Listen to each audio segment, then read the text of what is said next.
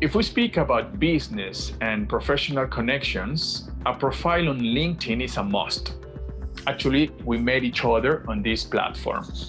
Um, to me, LinkedIn is probably the most powerful tool I've had. So, on a practical level, especially if you're more introverted, it helps a lot to be able to talk about things with people.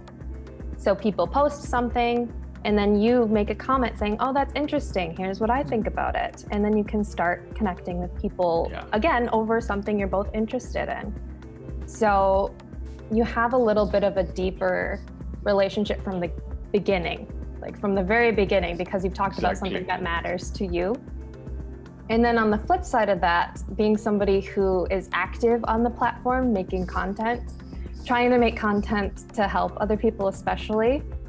Um, what's great about that is they find you, the people you want to connect with, because they're the people you want to serve. They'll find you.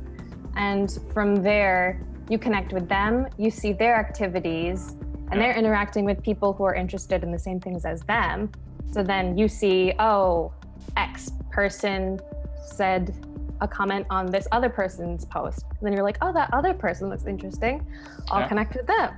So it's really, it's a really, really positive spiral. You get to connect with so many people that never in a million of years would you have even met, let alone have some exactly. sort of relationship with. Yeah.